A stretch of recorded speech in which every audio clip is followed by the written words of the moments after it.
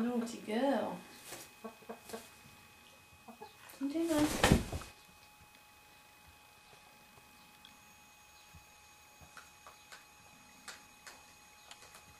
Ouch. Oh, God.